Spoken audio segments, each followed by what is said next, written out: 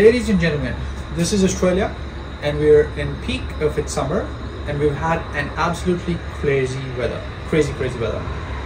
Now, after so long, after three months nearly, we have clear skies and we're looking at north side and finally Comet, the green comet which has been making headlines over the northern hemisphere is in the south now, southern hemisphere. And we're about to look at the first light. I'm excited to show you in 10 seconds. We're taking monochrome photos of it, so it's going to be in black and white, but we will produce the green, like you know, proper colored photo as well. Let's have a look.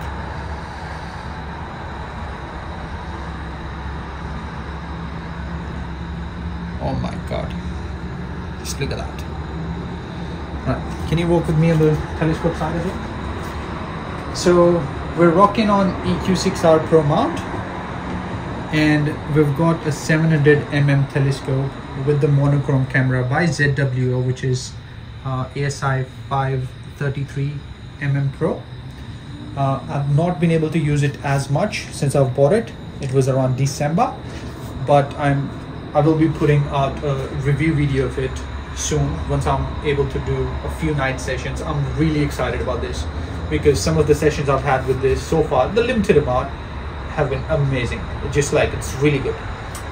Uh, we're gonna keep this video short and very informal, but just gonna put the picture of about 40 minutes of sub, which I'm gonna take from this.